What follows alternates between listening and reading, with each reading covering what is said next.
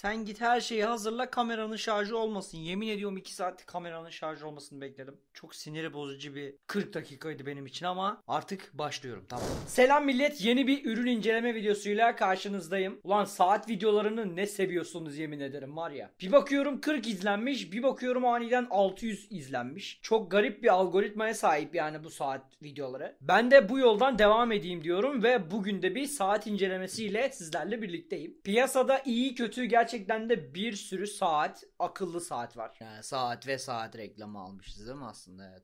Bugün inceleyeceğimiz saat de yine bir akıllı saat ve replika bir akıllı saat her zamanki gibi. DT No1 firmasına ait yeni bir modeli inceleyeceğiz bugün. Aslında yeni değil. Bu stabil çalışan gayet iyi bir akıllı saat modeli. Konuğumuzla tanıştırayım sizi. Bugün inceleyeceğimiz ürün Watch 8 DT Max.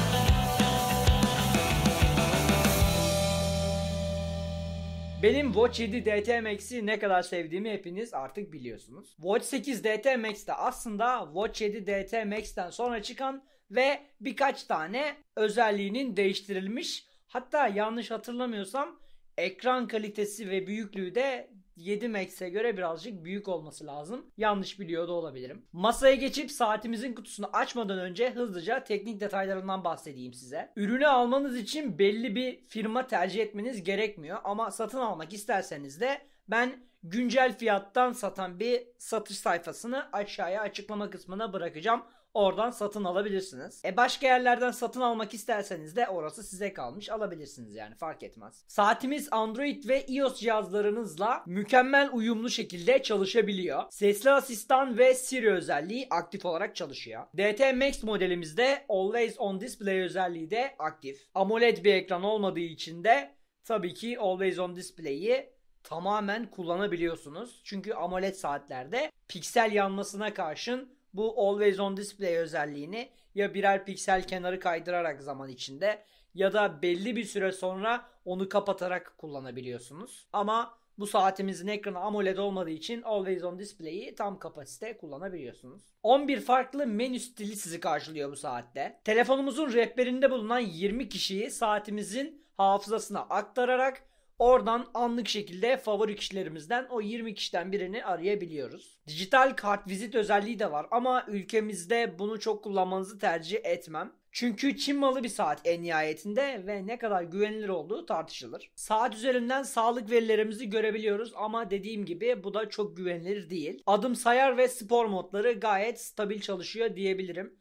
Adımınızı gün içinde hesaplayabilirsiniz bu saat sayesinde. Alarm, takvim ve kronometre özelliklerini de bu saat sayesinde kullanabiliyorsunuz. Saatimizin boyutları 45 mm olduğu için Üzerinde gelen kordonlar dışında farklı renk kordonlar da tercih edebilirsiniz. Saatimizin içinde 380 mAh bir batarya var. Eğer gün boyunca telefonunuza bağlı bir şekilde kullanırsanız 2 gün Sadece saat olarak kullanmak isterseniz 3-4 gün boyunca kullanabiliyorsunuz. Saatimizin işlemcisi MTK 2502D. Stabil çalışan bir işlemci olduğunu söyleyebilirim. İşlemci hakkında çok da teknik detay bulamadım açıkçası.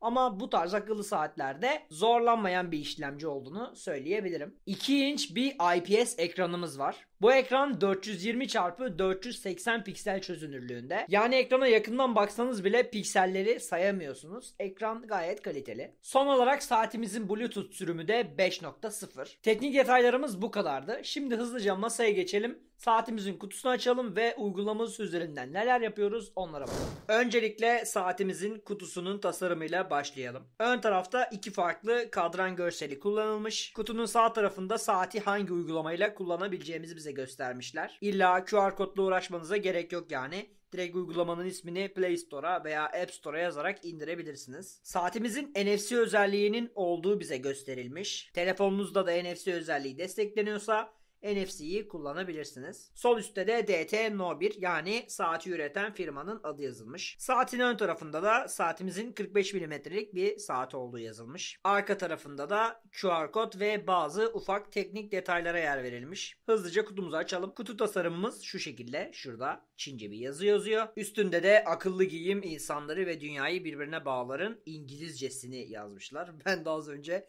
Translate'den baktım ne demek olduğuna. Bir çeşit marka sloganı falan olmalı herhalde. Şu üstteki karton parçasını kaldırarak direkt saatime ulaşabiliyorum. İçinden bir tane de kullanım kılavuzu çıkıyor ama Türkçe bir kaynak olmadığı için bizim işimize yaramıyor maalesef. Kutu içinden bir tane manyetik şarj aleti ve jelatinlere sarılı olarak saatimizin kendisi çıkıyor. Hızlıca jelatinlerinden kurtaralım saati. Saatimizin kasası parlak bir yapıya sahip. Yan tarafında bir tane crown tekerimiz var. Bu çark sesi çıkarıyor tabii ki de. Hemen dinleteyim size mikrofonda.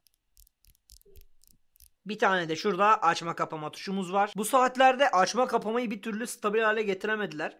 Crown tekerinden basarak açacağız yoksa aşağıdaki tuşa basarak mı açacağız? Her saatte bu değişiyor. Bakalım bunda nasıl. Crown tekerine basılı tutuyorum. Evet. Crown tekerine basılı tutarak saati açmış oldum. Arkadaki jelatinini de çıkartayım. Saatimin arka tarafı da bu şekilde. Saatimizi ekranda da gördüğünüz gibi Wear Pro uygulamasıyla kullanıyoruz. Hemen saatimizle eşleştirelim. Bunun için Bluetooth'u açmamızı istiyor bizden.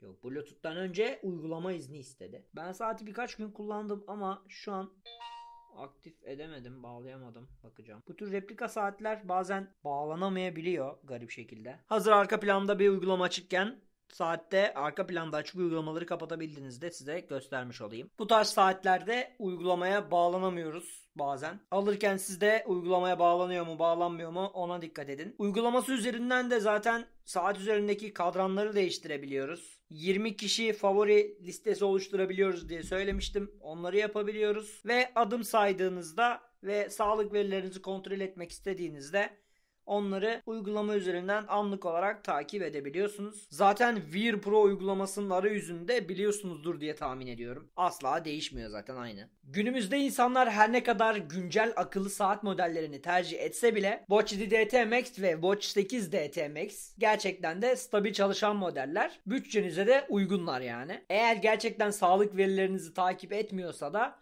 bir replika saati gidip 1200-1300 lira para vermeye gerek yok bence. Watch 8 DT veya bir alt modeline gidip tercih edebilirsiniz. Hem kozmetiği iyi hem de bir akıllı saatten bekleyebileceğiniz her şeyi gerçekleştiriyor zaten. Bu incelememde bu kadardı. Bu tarz videoları seviyorsanız ve devamını istiyorsanız video like atıp aşağıdan kanalıma abone olabilirsiniz. Bir sonraki videolarımda görüşmek üzere. Hoşçakalın. Bay bay.